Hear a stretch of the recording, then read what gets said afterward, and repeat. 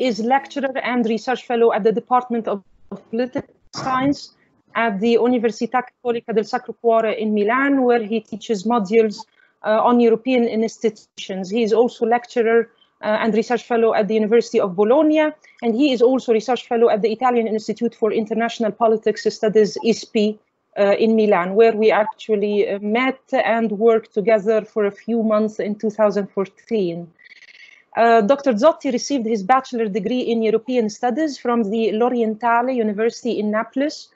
Uh, he has a master's degree in international relations from the Università Cattolica del Sacro Cuore in Milan and another master's degree in political theory from London School of Economics and Political Science and PhD in institutions and politics from the Università Cattolica del Sacro Cuore uh, in Milan. His research interests uh, revolve around political theory, theory of European integration, EU foreign policy, migration studies, and uh, diplomacy. And he has published extensively on issues uh, regarding European politics and the question uh, of migration uh, in, um, in, relevant to the European Union and EU countries. So uh, we are very much looking forward to uh, your talk and uh, without further ado, the floor is all yours. Thank you very much, Sally. Let me just start by uh, by thanking, first of all, the department of the BUE for having me here, for inviting me here. Uh, populism, populism and the European Union. The two things uh, do hand in hand here in uh, in Europe, within the European Union particularly, because as we're going to see, populism has, uh, at least over the last 15, 20 years, has been redefining itself based on, mainly based on position uh, with vis-a-vis -vis, uh, the European Union.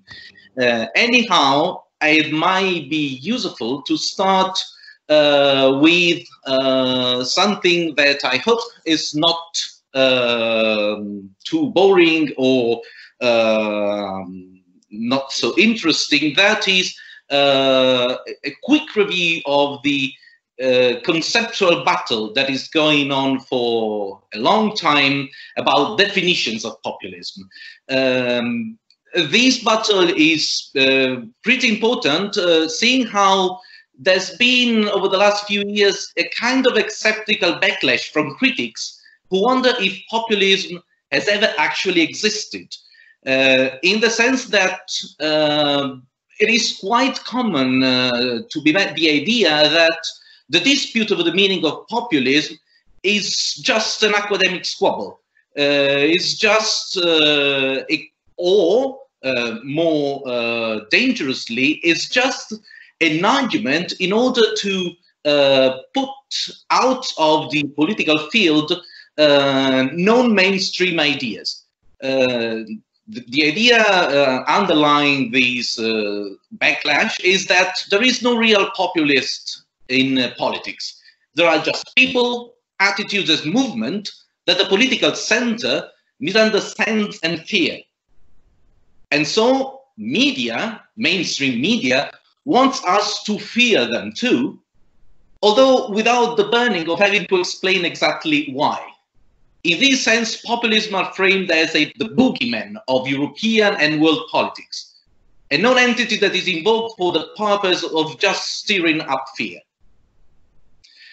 And it is hard to deny that much talk of populism obscures more than illuminating what populism actually means and tell us more about what anti-populist is than any real live populist parties or voters actually look like.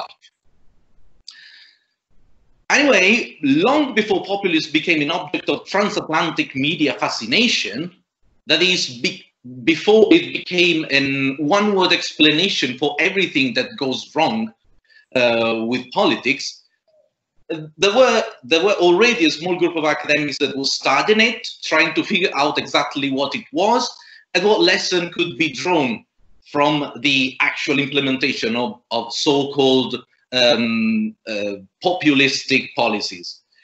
uh, thanks in large part to the persistent failure of governments across the West to enact anything that might resemble a credible vision ahead or shared for, for shared prosperity and security in the post-manufacturing era, we are now living through a time when familiar webs connecting citizens, ideologies, and political parties are at least beginning to loosen or shift, if not completely falling apart. In this sense, populism is an idea that emerges in order to uh, respond to the failure of traditional social structures. Now that parties do not have their social basis as they used to, there are no uh, working class for social parties to refer to, there are no uh, conservative or the bourgeoisie class for, conserv for conservative parties to represent. Uh, populist, in a sense, uh, in this idea, in this very basic uh, definition uh, of the concept, is an experiment in trying to rearrange social loyalties, connections, and to represent them in, in political forums. Um, as a result, the question of populism is not going away, meaning that we might well do without the idea of populism once populist parties are defeated, but the very um, the, the underlying conditions, the underlying circumstances that have made populism rise uh, to significance are not going away anytime sooner because we don't see any new sort of social rearrangement going on. Uh, alienation, uh, social fragmentation are here and there is nothing new uh, on site. Uh, the coming years are likely, on the other hand, to include all of the following uh, factors. More movements being labeled as populists, more movements that call themselves populists, more movements that define, that defensively insist that they are not populist, while others call them populist, and more conversations about the extent to which populism represent the problem or the solution. So in order to respond to this uh, very tricky, hairy situation, uh, Cas Mudde, uh, this um, Dutch political scientist, as early as in 2004, uh, proposed a new and concise definition of populism uh, that is uh, populism as a high, uh, this definition of Mudde was in a sense um, draft in order to counteract the idea that popul populistic politics was just a, a portmanteau for highly emotional and simplistic rhetoric. That is, populism, uh, populists are just opportunistic uh, politicians that want to buy the support of their voters.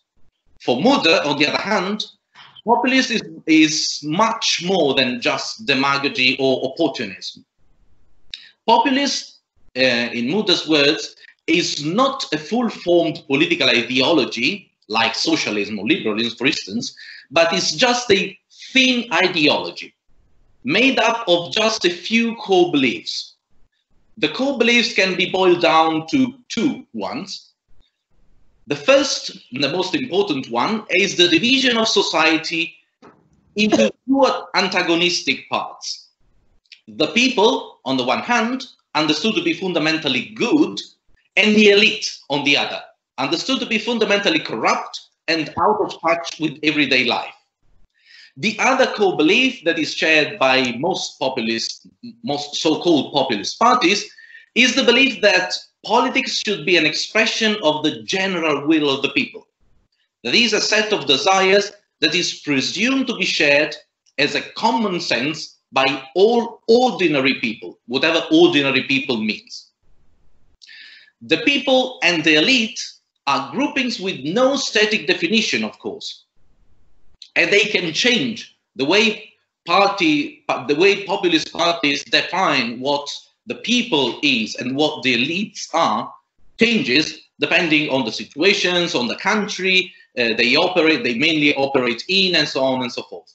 These categories are first and foremost moral categories. People are good, as said, elites are bad. The question of exactly who belongs in which group, though, depends on the character of the populist movement and which thick ideology the populist ends up attached to. So in this sense, we can see that populism tend to latch onto old ideologies, but only as far as the uh, the maintenance of these two core beliefs uh, is allowed. A populist people can define itself, for instance, as an ethnic group that feels under threat by foreigners, but it can also be uh, defined by a shared sense of being victims of economic exploitations by uh, fellow nationals. What matters in this division is that the blame is always put on someone that is outside of the normal people, of the regular people, that is the corrupt elites. The thin ideology definition is also extremely congenial to the landscape of contemporary academic political science, uh, if you want to look at ourselves for a little bit, because it places a considerable premium on broad frameworks that enable scholars to do empirical quantitative work. And so, as far as we have, we as uh, political scientists have an impact on reality, in a sense, we are uh, fueling uh, the discourse on populism because we study it and we mostly study it based on on the idea of populism as a thin uh, as a thin ideology. There are, however, other other scholars that contest this idea and um, and that see uh, populism from a, a completely different perspective. These academics think that defining populism in terms of core beliefs is a deep methodological error. Many of them also think that define populism as an ideology may be an ideology in itself. Uh, these scholars, just to name a couple, uh, are the, the, main names that uh, one is bound to meet are Chantal Mouffe and uh, Ernesto Laclau. Uh, both thinkers have directly informed the new European left populist movements, including Syriza, Podemos, and uh, Mélenchon's La France Insoumise. These academics are likely to stress the extent to which mainstream political parties in the US and Europe have converged in recent decades, narrowing the range of opinions that find real purchase in national decision making. So basically, they say that populism is just the reaction to the fact that uh, mainstream parties tend to become more and more similar to each other. There is no difference. There is no difference left between right, uh, right-left parties or uh, left-wing parties. Um, the policies they present to their political platforms, uh, the policy that they actually uh, implement once they seize power, they tend to uh, inform to be informed by neoliberal uh, neoliberal tenants, and so populists are bound to emerge in order to contest these uh, unnatural consensus that has been forming over the last decades in the center of the political spectrum. They take as a given that these as, as well the ranks of people who feel that what is usually called democracy that is a political system that responds to their concern, doesn't work any longer. And they and these people, these people that tend to vote for populist parties, they feel that uh, democracies respond much more rapidly and uh, and effectively to the means and the whims of small, wealthy, self-dealing class of elites elites who vigorously deny on their parts, they, they participate in the political battle, but at the same time, they benefit a lot from the uh, presence uh, in, the, in the ruling positions of mainstream parties. They are also instinctively alert to the possibility that self-preserving center will try to uh, defeat challengers by making anyone who endorses them appear unreasonable, frightening, and constitutionally unequipped for the sober task of governance. So we have these two ideas, and these two ideas have been uh, on the table for quite a lot now, uh, and in a sense, they've produced very little in terms of uh, actual ability to understand what's going on in the in, in, the European Union and in European Union member states in terms of participation of populist parties in uh, political processes. So, in a sense, um, in order to to uh, to make up for this gap, um, a, a, group of scholars have come up with an, a, a, new uh, classification of parties of, of, of, populist parties that tries to uh, com combine uh, the two the two strings, the conceptual strings in defining populism, and that proposes these two uh, these four categories.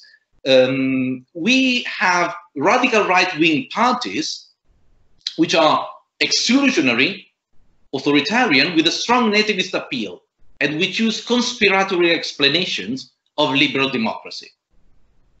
Then we have radical left-wing populists, which are inclusionary, non-authoritarian, with a weak nativist appeal, and use a radical democratic approach. Meaning that in, in this category, we might include, for instance, Podemos or Movement Five Stars in Italy.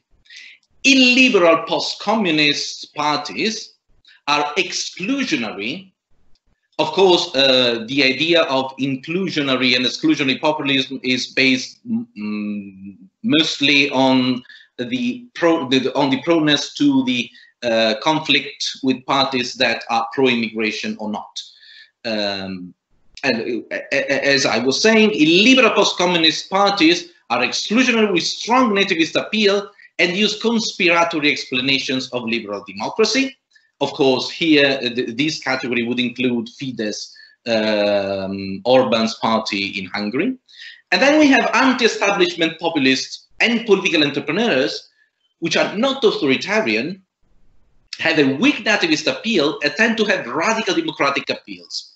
Here we can put, again, uh, it overlaps a bit uh, with the second one, uh, and we might uh, include in this uh, the, the centrist wing of the uh, movement Five Star in Italy, or uh, parties in Northern Europe, in Sweden, in, in Denmark, and so on and so forth. So, what about the connection of populism with uh, the European Union? As I was saying at the beginning of my speech, uh, Euroscepticism has been one of the main source uh, of consensus uh, and one of the main reasons why populist parties have been rising in prominence in European politics. Uh, because in a sense, uh, the idea of the European Union as a distant, uh, non-directly uh, elected, non-directly elected elite um, sits quite well with the idea of uh, a political, um, a political or apolitical elite that is against normal people.